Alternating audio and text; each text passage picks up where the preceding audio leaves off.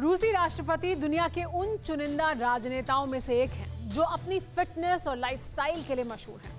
दुनिया उनके अंदाज की दीवानी है। रूस ने एक बार फिर पुतिन के साइबेरिया ट्रिप से जुड़े कुछ वीडियो जारी किए हैं, जिनमें पुतिन सुपर कूल अंदाज में नज़र आ रहे हैं। मगर इन वीडियो के सामने आने के बाद पुतिन के उत्तराधिकारी से जुड़े कई दावे भी किए जा रहे हैं। दावा है कि इस ट्रिप पर पुतिन ने अपना वारिस चुन लिया है, जो आने वाले वक्त में पुतिन की विरासत संभालेगा। कौन है वो शख्स और क्यों हो रहा है ये दावा? देखिए हमारी इस खास रिपोर्ट में।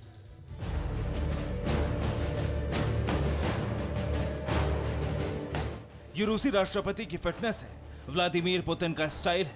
माचोमैन का ये अंदाज देखकर दुनिया भर के राष्ट्राध्यक्ष हैरान है।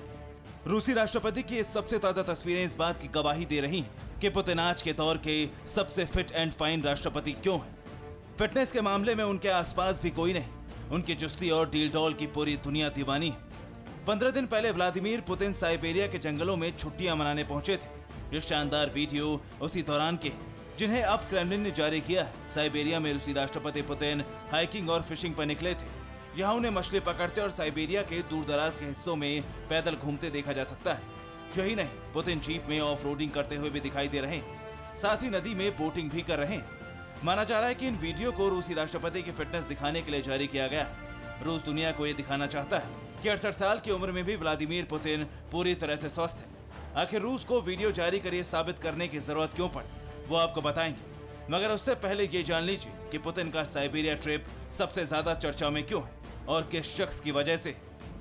दावा किया जा रहा है कि पुतिन ने साइबेरिया वेकेशन के दौरान अपना उत्तराधिकारी ढूंढ लिया है, जो कि आने वाले वक्त में रूस का राष्ट्रपति होगा। अब ऐसे में सवाल यह उठाया जा रहा है कि आखिर वो कौन सा शख्स है, जिस पर पुतिन ने इतना भरोसा किया है, जिसे पुतिन अपनी गद्दी सौंप सकते हैं।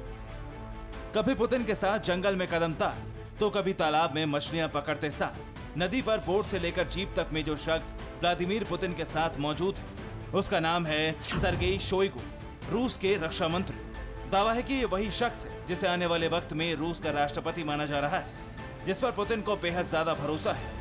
कयास लगाए जा रहे हैं कि इस ट्रिप पर रूसी राष्ट्रपति ने शोइगु को अपना उत्तराधिकारी चुना है, और आने वाले वक्त में पुतिन इसकी घोषणा कर सकते हैं। आपको ये जानना ज़रूरी है कि आखिर इस तरह के दावे क्यों किए जा रहे हैं?